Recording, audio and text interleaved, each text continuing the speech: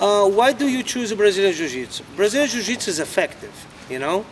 Uh, you want your son or yourself, you want to defend yourself. You don't want to hurt nobody. Why you gonna learn the box? You're gonna have to punch somebody, break their teeth, break your hand, and maybe you in the school, you're not gonna be able to be going to school anymore because they're gonna call you aggressive.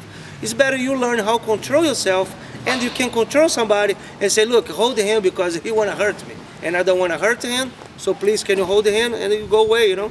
So that's, that's why I say Brazilian Jiu-Jitsu is better.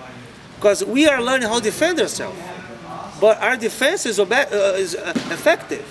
There are other type of styles like you have to hit the person. We don't want to hit nobody. You just want to control them. and Say, look, calm me down. That's not the way you're gonna, you know, approach in life.